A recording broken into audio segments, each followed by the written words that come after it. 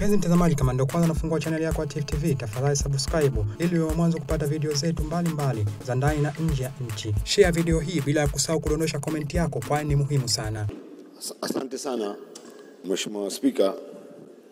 Awali yote niendelee tena kumshukuru Mwenyezi Mungu mwingi wa heri, lakini pia kwa kujalia sisi sote leo kuweza sote kuwa wazima, lakini nichukue nafasi hii kumpongeza Mheshimiwa Waziri kwa jinsi ameweza kusoma hotuba yake vizuri kabisa na kutuweza kutuonesha yale manjonjo na kutukumbisha wapi tumetoka.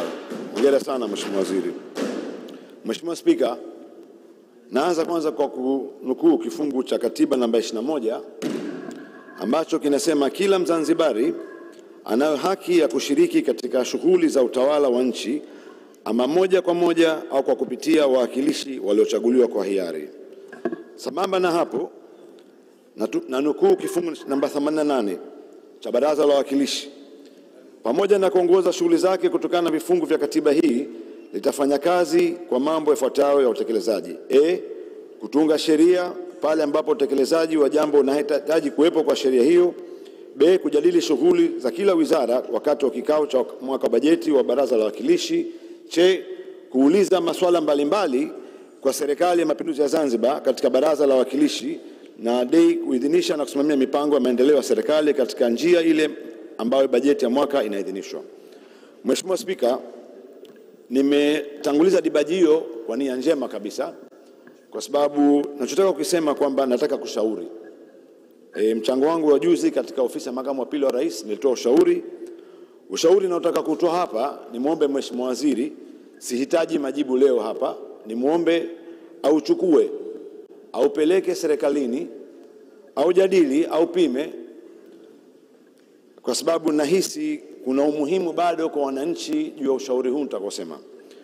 Mheshimiwa Spika, kama tunavyofahamu sisi, sehemu moja ya urithi mkubwa katika uh, nchi yetu ni eneo la Mji Mkongwe. Tuna majengo mengi ya kihistoria na nimpongeze sana juzi Mheshimiwa Makamu Pili wa Rais wakati anasoma uh, bajeti yake alizungumzia umuhimu wa sekta hasa katika masuala ya huduma. Mheshimiwa Spika, Jengo ambalo Mheshimiwa Rais anatumia kama ofisi yake lilijengwa mwaka 1903 na John Sinclair ambaye huyu alikuwa ni architect wa Mwingereza, lakini mahakama ambayo inayotumika ya Vuga ilijengwa mwaka 1908. Sambamba na pale pia tuna zile Jubilee, uh, zile gardens za Victoria pamoja na hospitali ya Bavia Lenin ambayo ilijengwa na Karimji katika eneo moja zuri la barabara ambapo unapoingia mji Mkongwe ni barabara unaotoka Mnazi Mmoja ukipita katika ofisi ya Ikulu kuelekea zako moja kwa moja mpaka kwa Jawadi, hatimaye kuingia zako ndani ya mji Mkongwe. Katika miaka karibuni barabara hii sasa kwa ajili ya usalama imefungwa, imewekwa kizuizi kwa upande wa Mnazi Mmoja, kwa upande wa hospitali ya Mnazi Mmoja, lakini pia kwa upande wa Vuga. Mimi nahisi Mheshimiwa Spika, naomba kuishauri serikali kwamba kutokana na wingi wa magari, wananchi wanaoishi, wageni tunaopokea, tunapata changamoto kubwa sana. Wakati wa makamu wa pili wa rais kama anatoka baraza la wawakilishi, gari zinaziwiliwa kwa upande wa Vuga, watu wanasubiri kwa zaidi dakika kumi. Kwenye American Corner unapofika pale Benbela tunakuwa hatutoki. Kwa hiyo maeneo ya kuexit au ya kutokea ndani ya mji Mkongwe imekuwa ni kazi kubwa kwa wageni. Karibuni pia meneja wa hoteli wa Park Hyatt, Mungu amrehemu, alif, alifia njiani, lakini hatujui kama endapo angeweza kufika hospitali mambo angebadilika. Kwa hiyo cha msingi naleta ushauri, ushauri huu kwa nia njema kabisa, nikiamini pia wapo Wazanzibari wengi ambao wangependa kuliona hili, kwa kuwa serikali hii ni sikivu, ipo kwa ajili ya wananchi.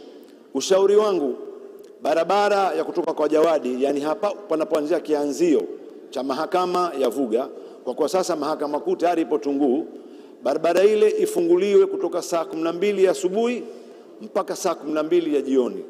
Saa kumi na mbili ya jioni pafungwe kote kwa ajili ya usalama, na gari ambazo takiwa ziruhusiwe ni private hire za wageni, gari za wananchi za kawaida, saloon, malori, bodaboda, matraki yote yapita zake upande wa Vuga.